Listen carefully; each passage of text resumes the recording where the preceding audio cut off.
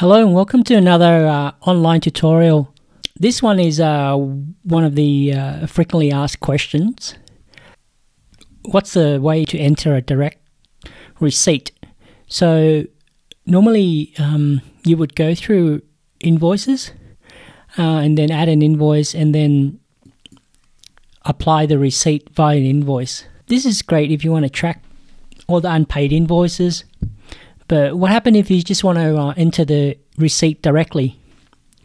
Well, to do that, it's pretty straightforward. What you want to go to do is go to um, banking and then go to bank transactions. And then the bank transactions, like your bank here, all you have to do is um, you can increase the money, which is add receipt, or decrease the money, which is add payment. So in this case, we just want to enter the receipt directly. So click on add receipt and then here I'll just select the bank. And here it should look exactly the same as the invoice entry form. I'll just uh, quickly add the information. Okay and then I'll click create.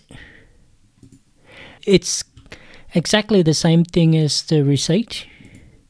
So if you want to have a look here go back to transactions you can see that receipt number three is a direct receipt and you can tell the difference between this one and the invoice one is, let me show you, if I go to invoices, and then I'll add a receipt here. Let's say I'll add like $11 so we can notice the difference. Uh, then go to bank transactions and then you can see here the direct receipt and the receipt from an invoice which applies to invoice number four here. Anyway, I hope that help that is helpful for you. Uh, it's just a different way of entering the receipt. Um, both ways are fine. The this way is a lot faster, um, but the other one is more. You know, if you have a, an invoice and you want to keep track of all the unpaid invoices. Anyway, I hope this is useful, and I'll see you next time.